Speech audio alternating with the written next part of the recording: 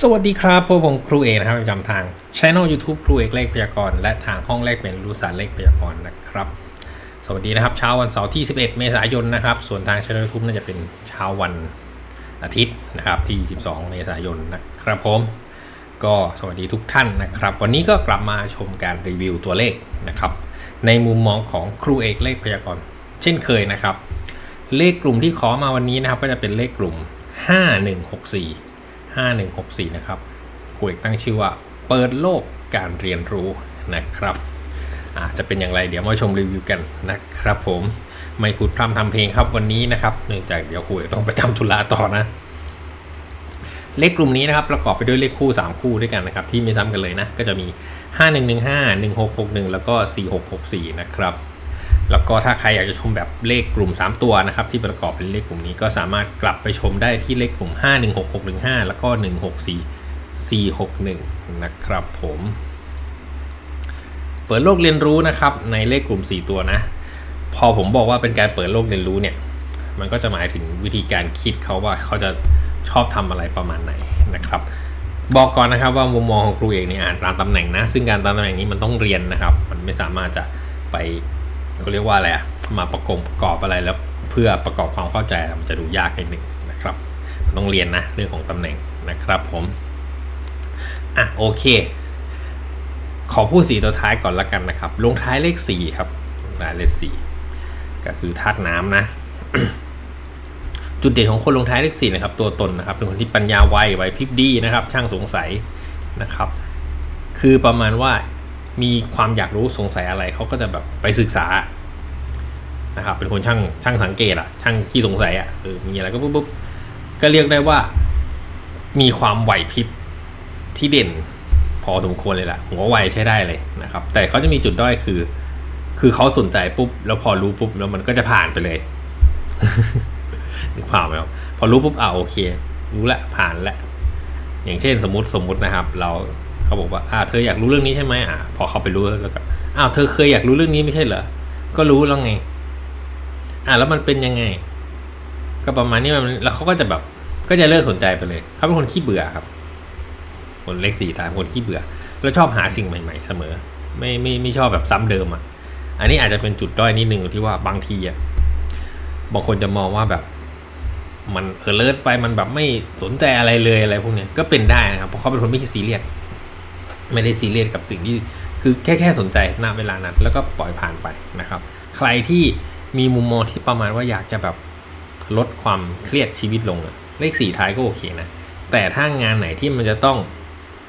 จริงจัง เป็นคนที่จริงจังทำอะไรอยู่ตลอดเวลา แล้วก็ต้องดูมีความรับผิดชอบสูงๆหน่อย อันเนี้ยผมว่าอาจจะไม่ตรงแนวเท่าไหร่ แต่ว่าถ้าเป็นลักษณะของเด็กนักเรียนอ่าเป็นเด็กๆนะ หรือผู้ใหญ่หรืองานบริการนะครับที่มันต้องต้องปล่อยผ่านอะไรไปง่ายๆอะ คือบางทีคนมันมามากหน้าหลายตาเนาะเกิดไปเก็บไว้นานๆมันก็ไม่โอเค ก็เลขสี่ก็ตอบโจทย์เขาเป็นคนที่ค่อนข้างจะโอเพนอยู่พอสมควรในในหมายเซตของเขาจะไม่จะไม่ค่อย จะไม่ค่อยซีเรียสจนเกินไปนะครับจะถามว่าไม่ซีเรียสไหมก็ไม่ละไม่ถึงขนาดนั้นอะก็ซีเรียสบ้างนะครับ แต่น่าจะเป็นเลขที่ปล่อยในในบรรดาหนึ่งถึงเก้าน่าจะเป็นเลขที่ปล่อยง่ายที่สุดแล้วล่ะนะครับแบบปล่อยวางนะ แต่บางทีถ้ามองมุมได้คือไม่ไม่สนใจเลยอะไรเงี้ยนะครับ ก็ต้องระวังนิดนึงนะครับคอนโทรลเอานะครับตำแหน่งนอนเป็นเลขหกครับ เมื่อเขาเป็นคนที่ช่างคิดช่างสงสัยอะไรเนาะต้องนี่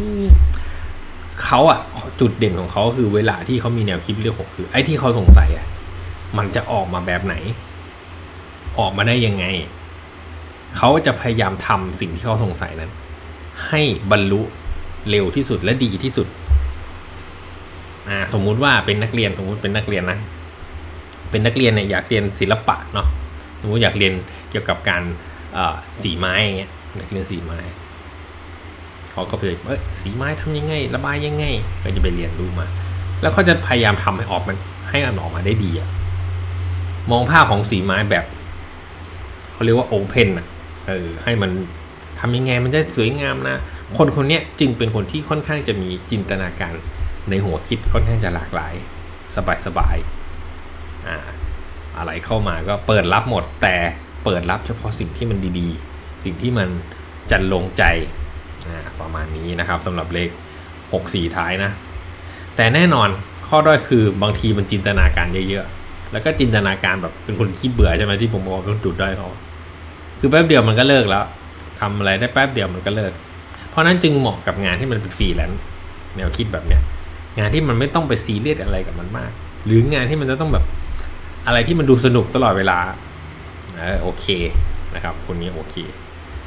แล้วตำแหน่งต่อมาการถ่ายทอดเป็นเลขหนึ่งคือ สมมุติว่าเขาคิดเรื่องนี้ได้ เขาจะต้องทำเลย แล้วจะดีอ่าจินตนาการปุ๊บปุ๊บปุ๊บปุ๊บต้องทำเลยแล้วจะดี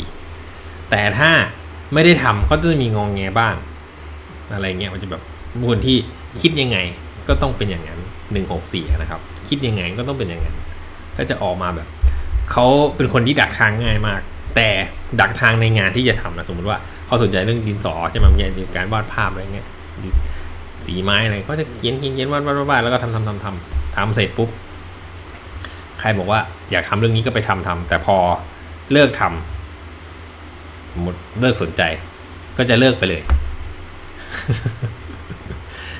คือทำกับไม่ทำแค่นั้นก็จะมีอาการประมาณนี้มาในด้านด้อยนะ แต่ด้านดีคือจินตนาการเขาดีแล้วเขาสามารถทำมันเกิดขึ้น ได้อย่างชัดเจนได้อย่างรวดเร็วในสิ่งที่เป็นอยากสนใจเรื่องการ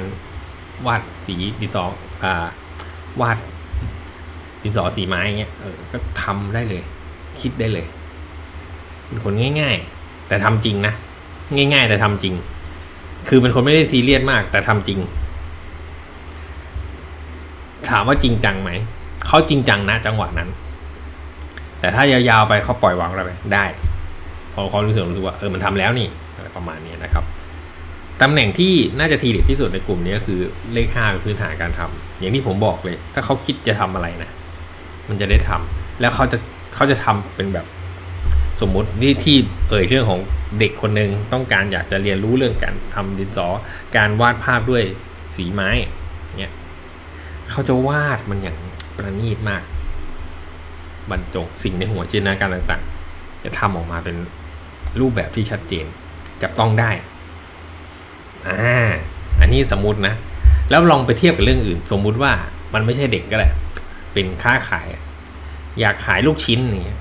ก็จะศึกษาเรื่องลูกชิ้น ศึกษาศึกษาศึกษา แต่ไม่ได้ขนาดที่ว่าจะต้องลูกชิ้นเนื้อนู่นนี่คือเขาจะรู้ว่ามันจะออกมายังไง แล้วเขาจะทำเป็นแพทเทิร์นได้ดี เออคนที่มีความมุ่งมั่นระยะต้นๆได้ดี ส่วนระยะยาวถามว่าทำได้ไหมก็ทำได้ครับ แต่ไม่ได้เป็นคนเร่งให้มัน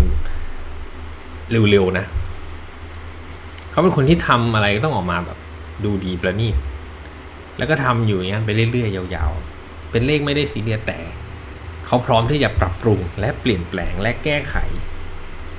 ได้ตลอดเวลาทุกอย่างเขาเชื่อว่าทุกอย่างมันเปลี่ยนแปลงได้แต่สามารถอัดแอปสิ่งที่มันดูเปลี่ยนแปลงในโลกใบนี้ ไปเป็นรูปแบบของตนเองที่ตัวเองชอบได้เก่ง นี่คือข้อดีนะครับ แต่ข้อด้อยก็แน่นอนอะถ้ามีอะไรที่มันหนักมากๆหรือมันต้องซีเรียสคิดหนักๆเนี่ย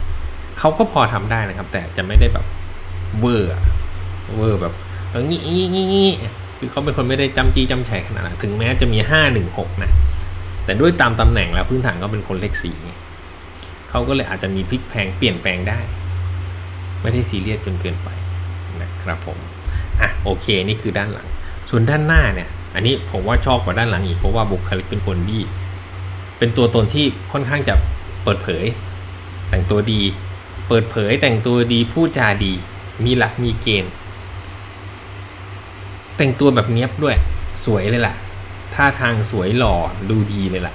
นะครับท่าทางดูดีแต่อาจจะไม่ได้แบบ คือจะไม่ได้แบบเชิงสายเสน่ห์ร้อยเปอร์เซ็นต์ แต่เป็นเชิงสายที่พอดีพอดี อันที่นึกถึงภาพก็ประมาณนักข่าว อย่างคุณไบรท์นะครับ คุณไบรท์ช่องสามเนาะที่อ่านข่าวคู่กับคุณสรยุทธ์อะประมาณนั้นน่ะคือจะไม่แบบเป็นนักข่าวเชิงนักข่าวจ๋าไม่ออกใช่ไหมแต่ก็จะเป็นนักข่าวที่มีความสดใส มีความล่าเริง อย่างผู้ชายก็อาจจะเป็นคนที่ติดตลกนิดนึง อะไรพวกเนี้ยที่แบบว่าเออพอ คือพูดแล้วมีทักษะในการพูดจาหรือแสดงตัวออกมา แล้วมันดูน่า น่าเชื่อถือด้วย น่าฟังด้วย ถือว่าเป็นบุคลิกที่ดึงดูดในระดับที่พอดีพองาม บุคลิกเนี่ยชุกุยชอบนะ ถ้าอยู่แถวสีตัวหน้านะครับ ชอบมากๆนะอะคราวนี้หน้ากับหลังละต่อไปซึ่งบุคลิกแบบเนี้ยมันเป็นบุคลิกที่ ดึงดูดความพอดีแบบเนี้ยสวยพอดีหล่อพอดีท่าทางพูดจาดีนะพวกเนี้ยมันเป็นเสน่ห์ดึงดูดที่ ในเรื่องของความรักจึงเป็นในในแง่มุมที่โอเค ใครๆก็ตามหากลุ่มคนลักษณะนี้พูดจาได้วางตัวดี แต่งตัวดี ไปที่ไหนก็ไม่อายคน ประมาณเนี้ยเออทำให้ความรักเนี่ยค่อนข้างจะเปิดนะค่อนข้างจะเปิด พบปะใครก็ได้ แล้วก็ไม่ได้แบบคบปุ๊บได้ปับ๊บแต่จะเป็นลักษณะของค่อยๆคคุยกัน ค่อยๆพูดกัน ศึกษาดูใจกัน ด้วยความเข้าอกเข้าใจ นะครับ ถือว่าเรื่องความรักคุยกันให้เชิงบวก แต่ก็อาจจะมีเรื่องของเวลาที่อารมณ์ไม่ดีหรือเป็นคนไม่ดีที่แบบถ้าไปเกิดเป็นอยู่ในคนไม่ดีเนี่ย ก็จะมีลักษณะของพ่อแง่แม่งอน เดี๋ยวดีเดี๋ยวร้ายได้เหมือนกัน อันนี้หมายถึงคุมตัวเองไม่ได้นะ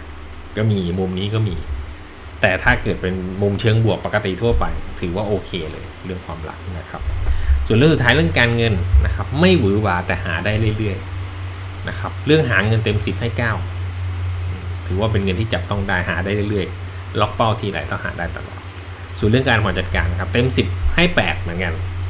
อาจจะไม่ได้เก็บเก่งมาก เพราะว่ามีอะไรก็ใช้ไปตามปกติ แต่เรื่องที่ใช้นั้นมักจะเป็นเรื่องที่เขาคิดแล้วว่าโอเค มันเหมาะมันสมมันมีประโยชน์กับตัวเองนะครับ กลุ่มนี้ผมให้รวมๆผมให้ 8.5 ถึง 9 นะครับ เป็นการเงินที่ค่อนข้างจะคล่องตัว แล้วก็ไม่ได้กระเบียดกระเสียนจนเกินไปแบบไม่ใช้เลยครับขอไปนะครับ ลืมปิดเสียงครับขอไปลืมปิดเสียงหลายเมื่อกี้โอเคนะครับ ก็น่าจะครบถ้วนนะครับสำหรับเลขกลุ่มนี้นะการเงินถือว่าโอเคนะครับผม ก็ฝากกดไลค์ กดแชร์ กด subscribe เป็นกำลังใจให้ช่อง YouTube คุยอีกด้วยนะครับ แล้วพบกันในคลิปถัดไปสำหรับคลิปนี้ ขอให้ทุกท่านโชคดีนะครับ มีเงินมีทองสุขภาพแข็งแรง แล้วพบกันในคลิปถัดไปสำหรับที่นี้สวัสดีครับ